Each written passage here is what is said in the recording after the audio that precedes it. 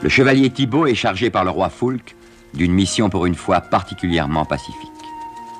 Il s'agit, escorté de son fidèle Blanchot, de porter un message du roi au vieux chevalier Paul de Mons, vétéran de la croisade.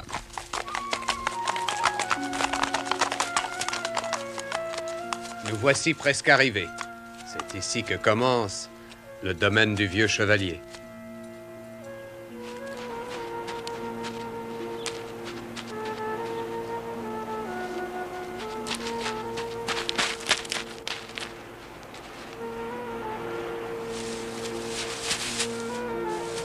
C'est étrange. Les paysans semblent se cacher de nous. Dommage. Après ces heures de chevaucher, j'avais besoin de sympathie humaine. Oh, de sympathie humaine et de vin frais. Les gens s'enfuient à notre approche, c'est un fait. Pourtant, Paul de Mons a la réputation de protéger sa campagne contre les brigands. Et puis, nous n'avons pas l'air de brigands.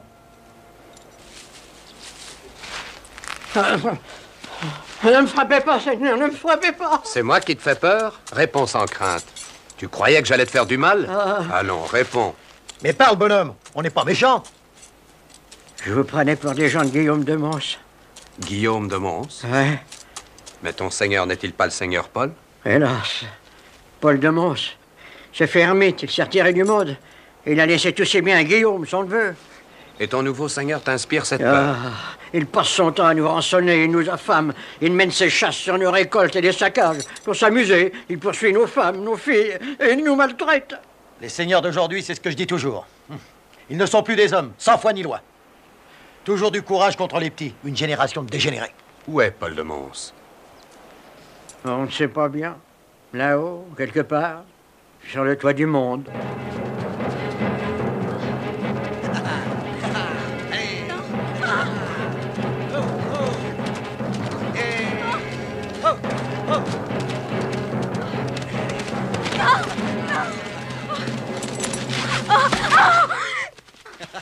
Allez, allez, viens, viens là, viens, viens, viens, viens, allez, donne, donne, donne, donne la main, allez, donne. Allez, hop, hop, allez, allez. Lâchez cette jeune fille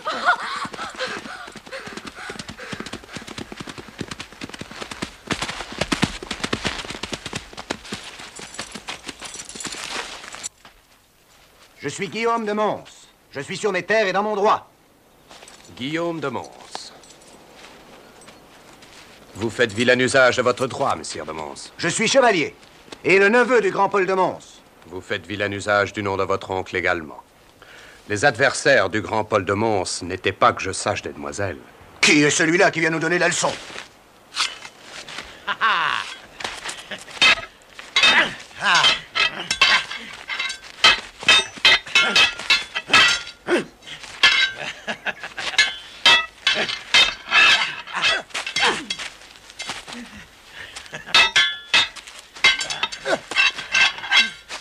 Thibault, on a fini.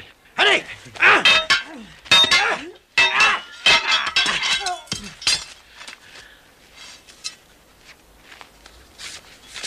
Nous nous retrouverons. Quand tu voudras. Et amène des renforts. Nous allons voir ton oncle et nous repasserons par ce chemin. Vous avez dit que vous alliez voir mon oncle? Parfaitement, en envoyé du roi. Chevalier, je vous fais mes excuses. Envoyé du roi. C'est donc à moi, nouveau seigneur, de vous accueillir. Je suis chargé par le roi de remettre un message à un gentilhomme, non à un brigand. Il est inutile que vous montiez vers mon oncle. L'âge lui a troublé l'esprit. Il refusera même de vous parler. J'en cours le risque. C'est une fatalité. On était venu en mission pacifique, on finit par donner des coups. Vous allez trouver le seigneur Paul de Mons? Oui Alors, dites-lui de revenir bien vite chez nous. Il n'y a que lui qui puisse nous ramener la tranquillité. En quatre mois de son aimable pays, on nous a fait l'enfer. Dites-lui bien, Seigneur, de la part de ces paysans, qu'il nous revienne. Je lui dirai, si je le trouve. Oh, vous le trouverez. Il est là-haut, sur le toit du monde.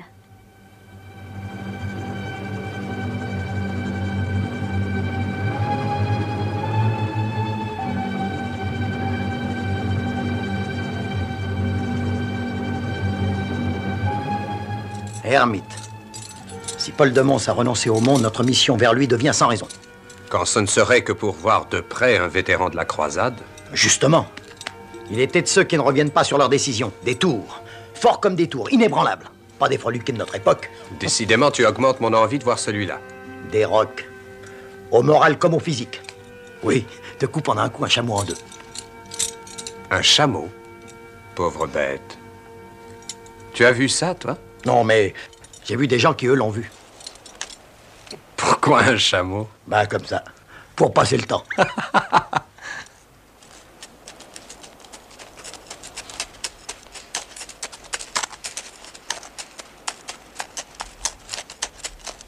Le toit du monde. Ça semble vouloir dire qu'il faut grimper. Eh oui, grimper. Et à pied. Mais pourquoi à pied?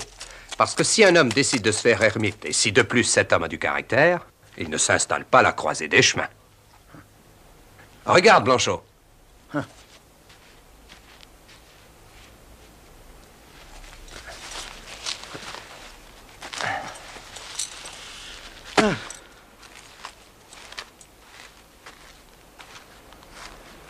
C'est à toi ce cheval Oui.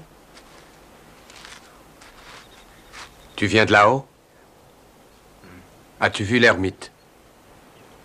Que t'a-t-il dit Il m'a dit non. Non à quoi Il ne veut pas redescendre.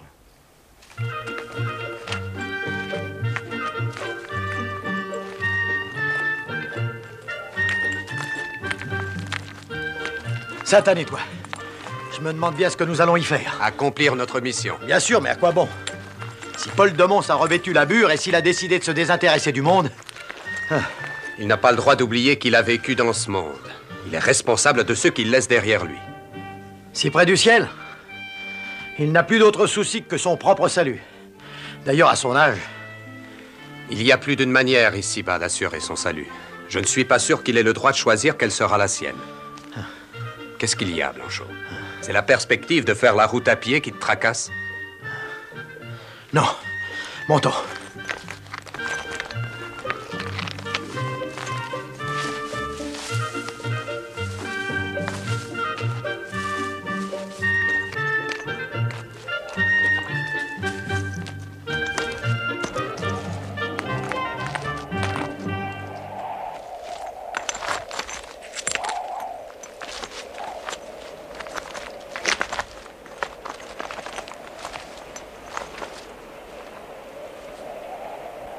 Salut à vous, au nom de Dieu et du roi.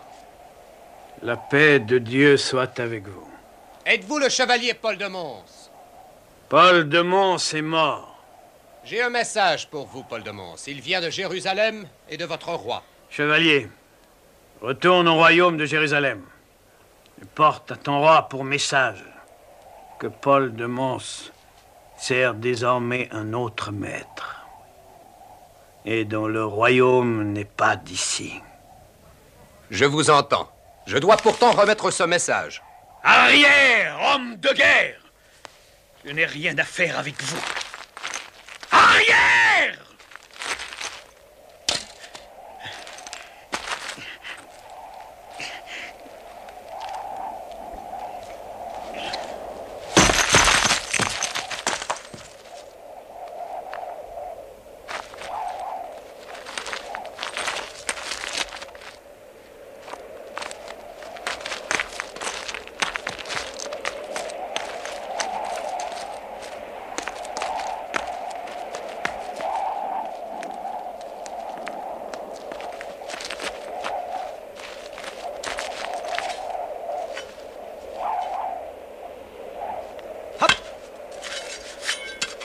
Vous voyez, Seigneur Nos épées sont à vous Cache ces épées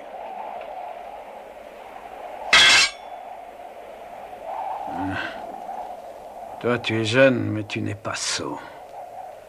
Tu as compris au moins quelque chose. C'est qu'apporter une arme en cet endroit le souillerait. Comprends davantage.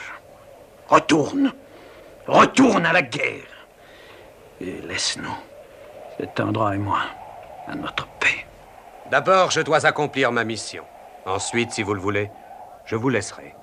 Je ne lirai pas ta lettre, garde-la. Paul de Mons, vous vous êtes fait ermite. Serais-je donc venu de si loin pour voir un ermite qui connaît la peur? Moi, peur? Oui, peur La peur d'écouter les nouvelles du monde. La peur aussi de vous laisser tenter par l'offre du roi. Me laisser tenter? J'avais tort tout à l'heure. Ah, tu es un sot, va-t'en. Un plus grand que vous, sur une autre montagne, a jeté les yeux sur les richesses du monde avant de crier Va-t'en loin de moi à celui qui venait pour le tenter. Apporte ton message, grand dadais.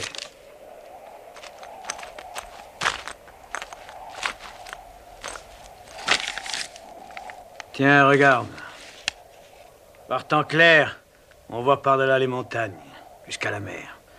Et dans ce grand calme, vous autres, vous arrivez pour faire vos remous. Allez, lis.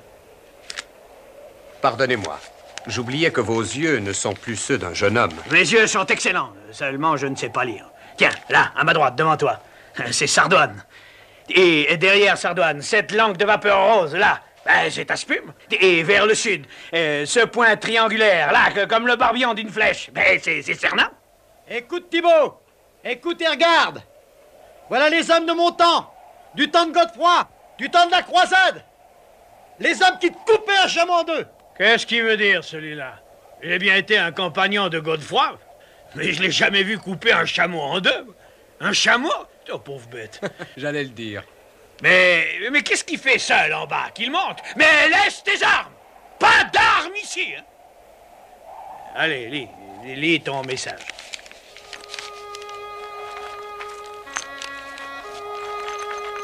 Le 11e d'août, jour de Saint Médéric, royaume latin de Jérusalem, Foulque, par la grâce de Dieu, roi des Francs,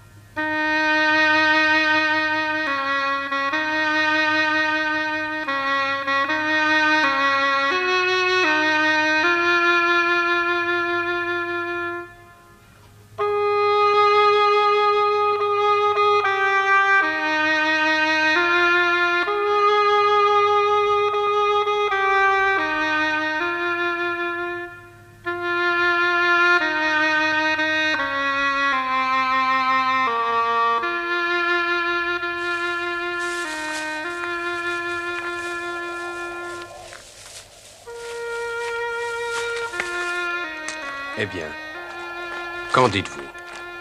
Hein? Euh, Non, je n'ai pas écouté. Le roi vous invite à Jérusalem pour siéger au conseil. Il a grand besoin de votre expérience. Que veux-tu de moi? Louange du monde. Non, je ne retournerai pas à Jérusalem. Je n'ai plus de conseils à donner. Je n'en ai plus qu'à recevoir. Ce soir, si ce que je te dirai te donne à rire, écoute-le quand même sans répondre. Laisse-le germer en toi, mais tu repenseras quand tu seras à l'âge que j'ai. Pourquoi suis-je venu en Palestine? Je m'y suis taillé un domaine. Et certes, tout comme un autre, j'ai aimé ma terre. Jeune, quand je regardais vers Sardoine, vers Aspume ou vers Cernin, je pensais elles sont sous ma loi et sous ma justice, car je m'estimais juste. Et j'en étais fier. Mais plus tard, ce que je revoyais au-delà d'Aspume, c'était le long voyage de ma jeunesse. Depuis la France jusqu'à Jérusalem, par Constantinople et par Antioche avec Godefroy de Bouillon et Baudouin et Raymond de Saint-Gilles. Je pensais que j'avais délivré Jérusalem et que j'y avais gagné cette terre. Et cela aussi, je le trouvais juste. Puis un jour est venu, en regardant ma terre, je ne voyais plus que la délivrance de Jérusalem. Celui-là, qui parle de nous comme des titans de la légende. Sait-il seulement ce qu'elle a été, cette délivrance? 70 000 cadavres. La population musulmane tout entière, femmes et enfants y compris. Voilà sur quoi il a fallu que nous passions avant d'atteindre le Saint-Sépulcre. Voilà par quoi j'ai cru me tailler un juste domaine sur la terre. Un royaume dans le ciel. Car on nous avait beaucoup répété que ce massacre était un pieux massacre qu'il ne payait pas trop cher la délivrance du tombeau du Dieu de la paix. Je ne vous dirai pas si je le crois encore. Je dirai seulement qu'aujourd'hui, je ne saurais plus toucher à une épée. Toute arme me fait horreur. Maintenant, quand je prie pour Godefroy, pour Baudouin et pour Raymond qui sont morts, je voudrais pouvoir mêler à leur nom celui de chacun de ces 70 000 cadavres que nous avons faits. Je ne suis pas venu ici pour réveiller le passé, mais pour vous appeler à des choses nouvelles. Il est écrit Laisse les morts ensevelir les morts. Alors laisse-moi. Je suis un mort.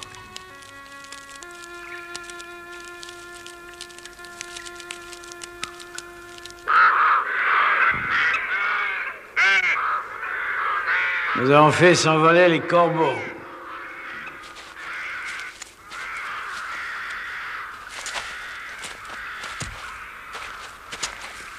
Quand je sentirai venir ma fin, je m'allongerai sur cette pierre, le visage tourné vers Dieu, le cœur lavé de tout. Et heureux? Heureux, mais j'espère. En attendant, chevalier Paul, pendant que vous parlez avec Dieu, que devient le bonheur de vos paysans? Vous en souciez-vous Mon gredin de neveu les traite mal, on me l'a dit. On vous l'a dit et nous l'avons vu. Je crains fort que votre cœur soit déjà lavé de la charité. Il est un temps pour l'action. J'ai fait ma part.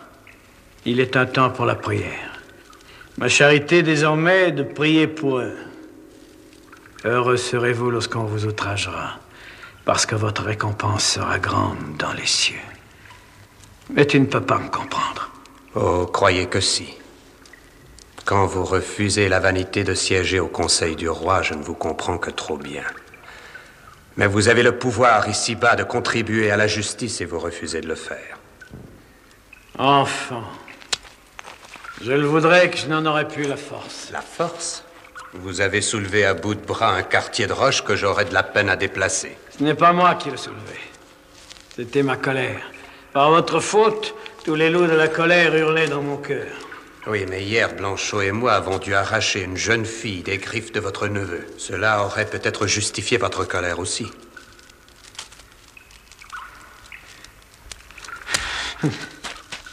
Enfin, le compagnon de Baudouin de Godefroy se réveille. Tu vas voir, Thibault. Tu vas voir un homme, Thibault. Guillaume Tu seras puni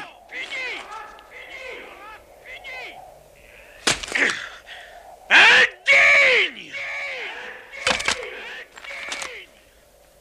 Je prierai Dieu qu'il délivre de toi ces pauvres gens. Pourquoi demander à Dieu de faire ce que vous pouvez faire vous-même? Est-ce là votre façon de le servir? J'en suis juge assez. Seigneur Paul de Mons, pourriez-vous refuser de prier Dieu pour moi? Non, certes. Mais si tu ne m'appelles plus Seigneur. Alors priez-le qu'il me fasse mourir jeune et non pas aussi vieux que vous. Quoi? Vous êtes un seigneur et vous tenez à conserver les privilèges d'un seigneur. Des privilèges, moi? Des privilèges, oui. Ne serait-ce que celui de regarder la misère qui accable les autres. De très haut. Le ciel m'est témoin que tu me provoques.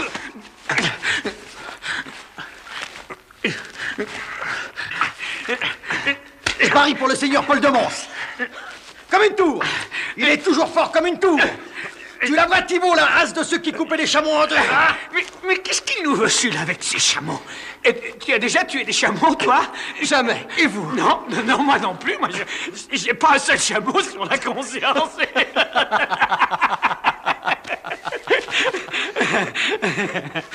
Quelle poigne vous avez, messire, quelle poigne Ah, tais-toi. Tu m'as rompu. Je suis deux fois plus essoufflé que vous. Mais c'est parce que tu as deux fois plus de souffle que moi, bandit. Ah, c'en est fait. Cette fois, je sens que tu m'as pris ma dernière force. Je n'en crois pas un mot. Une mouche, une mouche se poserait sur mon visage que je ne pourrais pas lever la main pour la chasser. Envoyez du roi Montre-toi si tu en as le courage Guillaume de Mons. Vous ne vouliez pas aller vers la plaine. C'est la plaine qui vient à vous.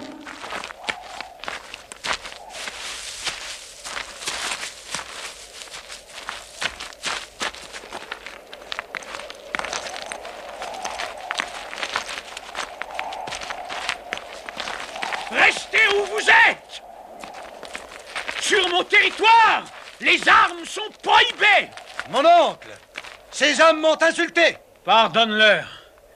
Moi aussi, ils m'ont insulté. Et je leur ai pardonné. Moi, on me rend raison d'abord.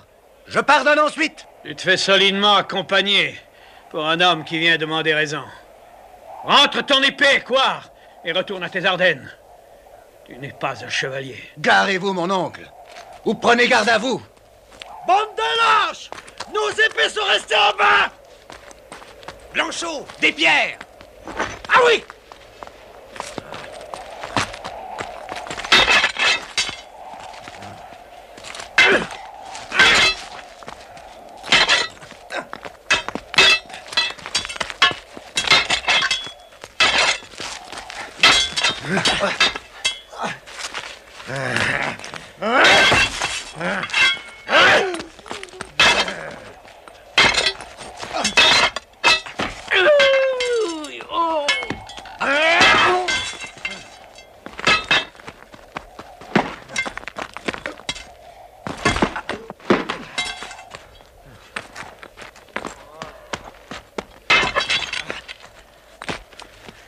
Tu as essayé de me tuer Moi Ton oncle.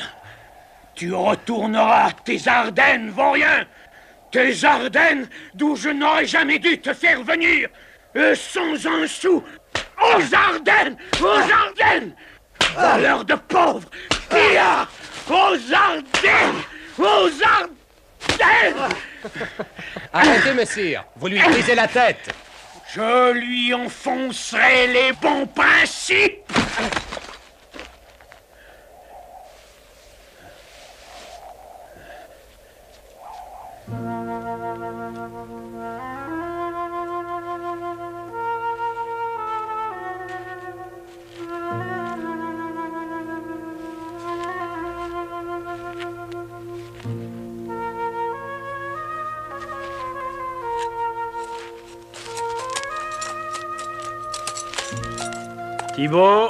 Si par ta faute j'ai perdu le ciel, fais en sorte de ne pas te trouver sur mon chemin dans l'autre monde. Il y a plus d'un chemin vers le ciel. Dans la maison du Père, il y a plusieurs demeures. Si Dieu vous avait bâti pour prier, il vous aurait fait le bras moins robuste.